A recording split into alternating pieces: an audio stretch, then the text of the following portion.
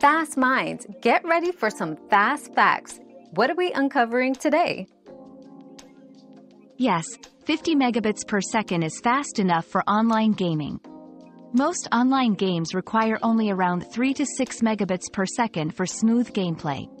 However, your overall experience also depends on factors like latency and network stability. Ensuring a wired connection and reducing background internet usage can further enhance gaming performance. Our quest for knowledge never ends. Thanks for being part of today's discovery. Subscribe, like, and share to join us on the next one.